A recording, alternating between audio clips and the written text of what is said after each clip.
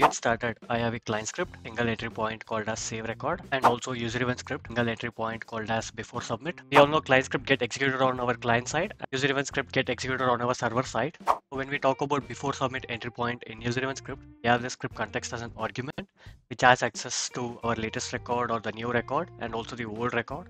And it also provide access to a property called as type, us whether it is in create, edit, copy, or something like that. And when it comes to line script save record entry point. We also have the script context as an argument but we just have access to current record. It does not have an property called as type where it provides you an option to find out whether it is create edit or copy something like that. But when it comes to page init entry point in client script it has an option to figure out whether it is create edit. Let's say if you want to add some kind of condition in save record based on that mode or type so we can make use of page init by adding the script context.mode where we have to declare a variable called type, let's say, as a global variable. And then we can make use of this variable inside our page init function and we can assign the value of script context.mode. And then we can make use of this type value inside our save record since it is a global variable. And we all know the save record is used for validation purpose. And in the same way, before submit can also be used for validation purpose. So now when we talk about save record entry point code, which we have here it's very straightforward. We are just trying to get the line count of sublist called as item. And if the line count is more than or equal to 2, we are allowing the user to save this record.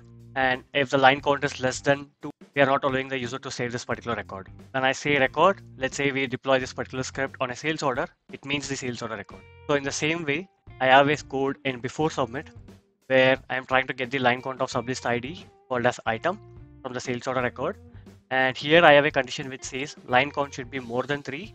So if the line count is more than 3, which is all good, need to worry about anything. So validation is fine. But if the line count is less than 3, we are not allowing the user to commit this data. So I have uploaded my client script to my NetSuite account and this is the script record for that. And this has been deployed on a sales order record. The same way I have uploaded my user event script as well. And this also has been deployed on sales order record. So to test this, I'm going to navigate to transactions, sales, and then click on enter sales order. So now I have filled out my customer value on the sales order record and also I have added a single line. We have clearly mentioned that we are trying to make sure the line count should be more than or equal to 2. In this case we have just added only one line item. So now let's try to save this record. Now I can clearly see I'm getting an alert message which says the line count should be greater than or equal to 2. And if I click OK, it still stays on the same page where I have entered all the data like customer value and the item level values and everything. And it will not allow me or proceed further without entering two lines.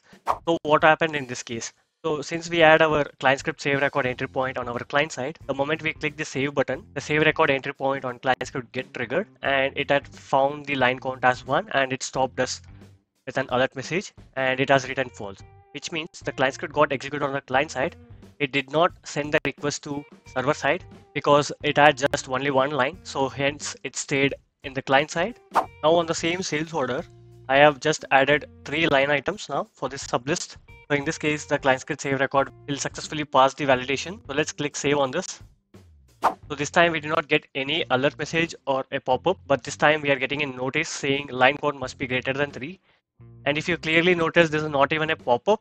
So in this case, once we click save record, since we had three lines, so there was no issue in our save record entry point, which was all good.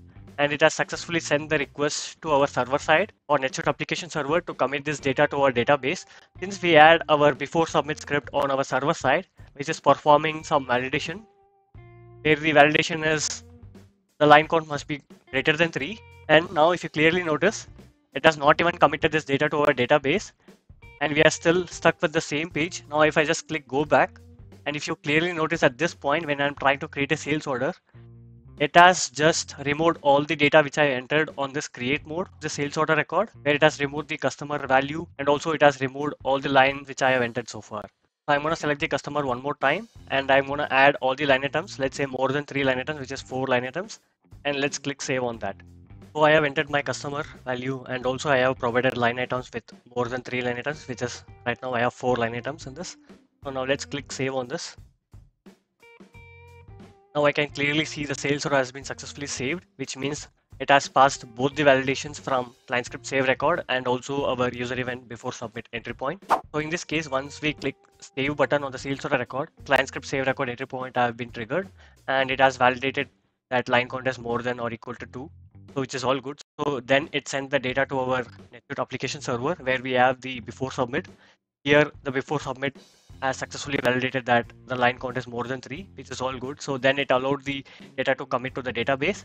After committing to the our database, it has responded back with the view mode page of the sales order record back to our client side. The takeaway from this uh, video is the client script get executed only on your NetSuite UI side, or if you try to create any sales order record using your CSV or maybe integration, your client script will not get executed, but your user event script will get executed when you try to create any sales order record using your UI or some integrations or some server side script, except user event script again. So in that case, your user event script get triggered.